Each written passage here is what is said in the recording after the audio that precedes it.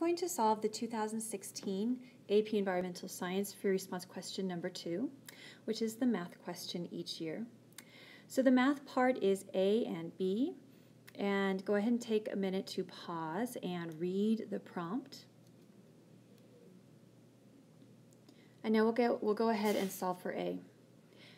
Whenever you're solving an FRQ math, sometimes it takes a few minutes to just sort of jot down some numbers, wrap your head around it. Do not panic if you can't solve it at first.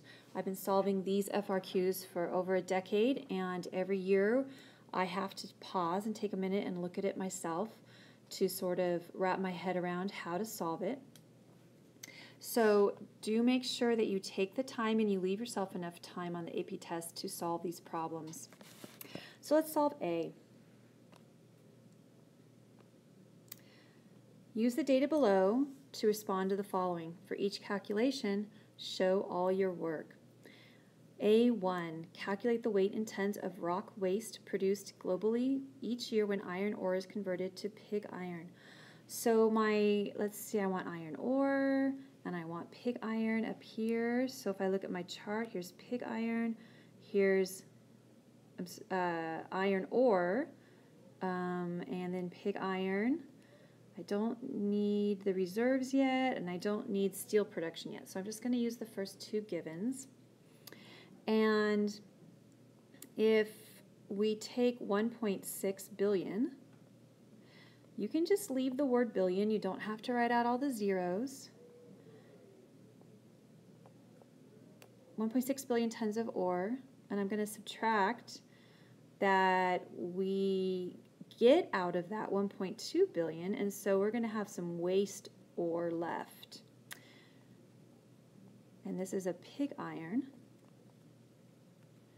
So I'm going to have some waste from this process.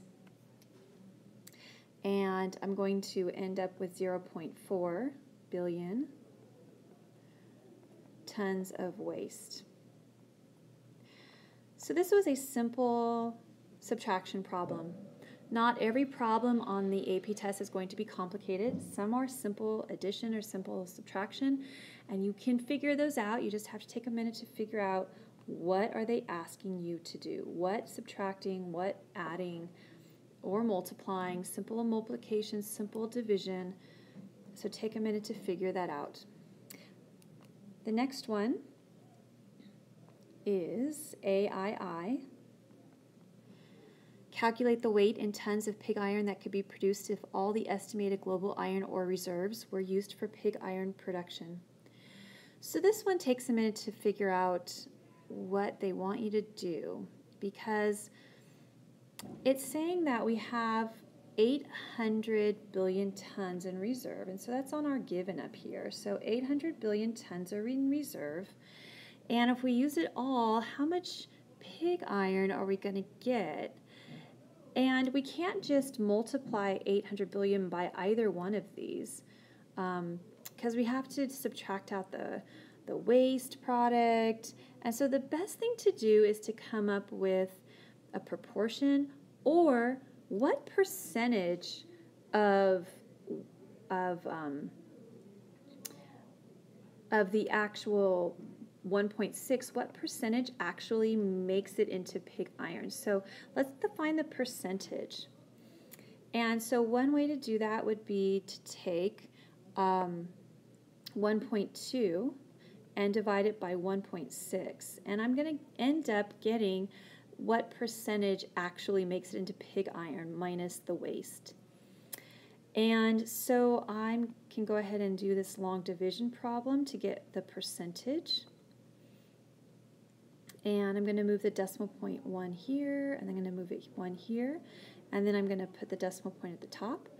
So my new problem is 16 goes into 12. It doesn't go in at all, so here's my decimal. I'm going to bring it up. I'm going to add a 0. 16 does go into 127 times, and so off to the side you can do some math over here.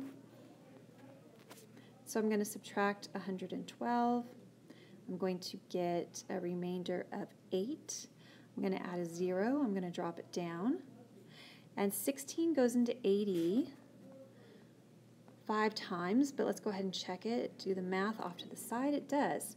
So it looks like 75% of the um, iron ore is converted into pig iron. All right, so we have a 75% um, usage here. So now once I get that, now I can go ahead and do AII. And so we have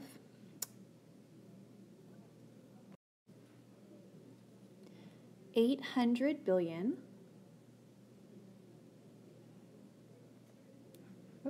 I'm sorry, I messed up right here. So 800 billion times 0.75 and we're going to end up, let me go ahead and do the math out.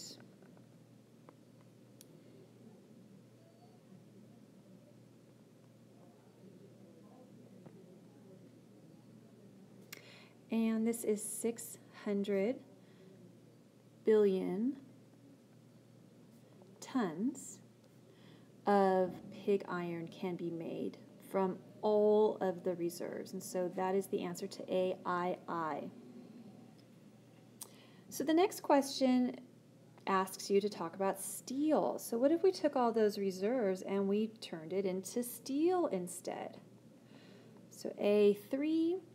So the given up at the top in the box says 95% of iron ore that is mined is used in steel production. So instead, if we wanted to turn that into steel instead of pig iron, um, we could just write 800 billion. Oh, I did that again. I just write 800 billion. I don't want to put all the zeros out. And this is a real simple. So sometimes it gets easier as you go. So that's 95%. So if you cannot solve one, don't give up. Like if you could not figure out AII, don't give up just skip it, go to the next one because you didn't need the answer to A2 to go to A3. And A3 is actually an easier problem. So don't give up and go to the next problem and try the next problem.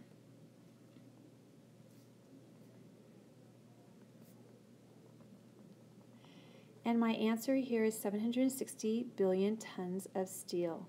Make sure you know how to work with percentages if you need to review that.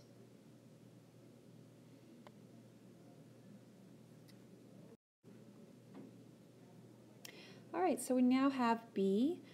So you have a little prompt there about recycling, and go ahead and make sure you read that. And then it says calculate the weight in tons of coal that is conserved each year in North America by recycling steel. So there's two givens up there. It says 1.5 fewer tons of iron ore and 0.7 fewer tons of coal must be mined.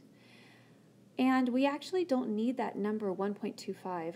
So the AP test will sometimes give a number that you never need. So don't be thrown off by that.